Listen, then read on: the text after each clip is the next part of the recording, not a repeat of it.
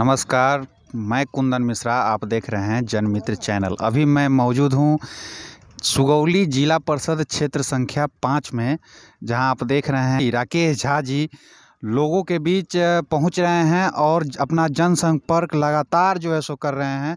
क्या समस्या देखा उन्होंने क्षेत्र संख्या पाँच के, जिला परिषद क्षेत्र संख्या में? आइए हम उनसे जानते हैं। मैं क्षेत्र भ्रमण के दौरान बहुत सारी समस्याएँ देखा, जिसमें सबसे पहले बारह सूत्री मांग है। मैं एक ज्ञापन तैयार किया हूँ। वह ज्ञापन मैं वर्तमान माननीय विधायक इंजीनियर शशि भूषण जी को दूँगा और इस ज्ञापन में जो भी हमारी मांगे हैं बारह, उसको पूरा कराने के लिए प्रयास करूँगा, जिसमें सड़क एक नंबर में है, जनता चौक से नकरदेई तक सड़क बरसात से पहले मरम्मत कराना। दूसरी है पचबीड़ुआ से श्यामपुर सड़क जो संवेदक के द्वारा तीन सालों में अभी तक पूरा नहीं किया गया, जिसको पूरा करवाना। देवदत्तवा नहर चौक से परसौना नहर चौक तक नहर पर सड़क का कार्य और निर्माण कराना। परसौना नहर चौक से नकरदेई नहर चौक तक नहर पर सड़क का निर्माण।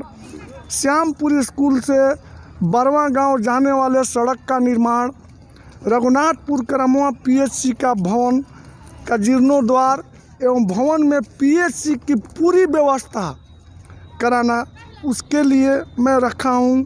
सातवां है मूसवा से दक्षिणी मनसिंहा के सभी ग्रामों में सड़क का जीर्णोद्वार एवं निर्माण कार्य।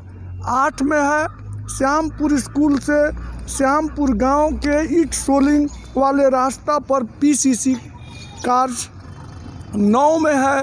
धर्मिनिया स्टेशन से चैनपुर जाने वाले रास्ता में नहर चौक तक रोड एवं उसमें पुल का निर्माण कार्य दस में है।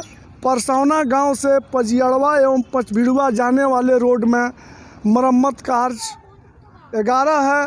करमुआ जाने वाले रोड में ध्वस्त जो नौ निर्मित पुल था, उस पुल का जीर्णोद्वार बारहवा है कि रघुनाथपुर करमुआ बाज़ार पर जल्द से जल्द पुलिस पिकेट खुले उधर की क्षेत्र की जो भी जनता है, उसकी मूलभूत समस्याएँ हैं।